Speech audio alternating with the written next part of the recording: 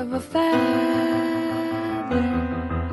Say that they're always gonna stay together, but one's never going to let go of that wire. He says that he will.